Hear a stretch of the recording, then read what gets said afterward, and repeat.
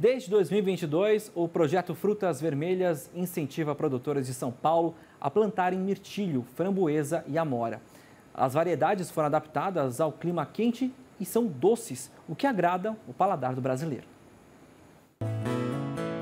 As frutas vermelhas estão ganhando espaço neste sítio em Valinhos, no interior de São Paulo. Até pouco tempo, o produtor trabalhava somente com goiabas. Agora está plantando framboesa e mirtilo. Eu comecei com 50 vasos, 50 pés. Aí foi indo, é, foi dando certo, né? Adquirindo experiência também. Hoje eu estou com mil pés de mirtilo.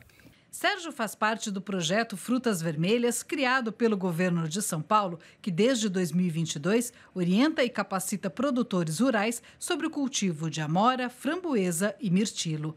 As culturas, comuns em regiões mais frias, foram adaptadas para o clima quente. Se a gente pegar uma, uma, uma variedade não adaptada para o clima, né, ela não vai produzir. Né? Então, se a gente pegar uma cultura, uma variedade adaptada para o clima frio, né, se a gente pegar para o Rio Grande do Sul, e trazer para cá, ela não vai produzir. Então tem que ser essas variedades adaptadas que a gente tem aqui. O projeto já conta com 30 produtores em várias regiões do estado. Ainda não há um volume expressivo de produção, por isso as vendas são direcionadas para mercados locais, confeitarias e restaurantes. A gente está trabalhando como diversificação. Então a gente não quer que o produtor é, saia da, da, renda que ele já tem, né? No caso, esse produtor de goiaba, figo que a gente tem, tire tudo e vá para as frutas vermelhas. Não, a gente está colocando como uma diversificação, uma segunda renda, né?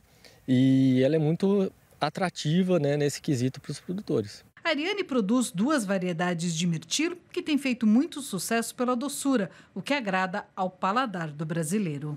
O mirtilo é uma, considerado uma fruta nobre, é, tem muito valor agregado, é muito saborosa e tem bastante demanda aqui na nossa região. Incentivada pelo projeto Frutas Vermelhas, a Ariane passou a produzir também a amora preta. Foram plantadas 200 mudas e a expectativa é que as plantas comecem a dar frutos no final deste ano. Além de ser é, uma renda a mais, tem, é, por exemplo, confeitaria que compra o mirtilo também compra a amora preta. Então a gente já tinha esses canais criados. Eu acredito sim que vai dar muito certo. Você falou para os seus clientes, olha, eu também estou plantando amora, no final do ano eu terei amora. Qual foi a reação? Estamos ansiosos.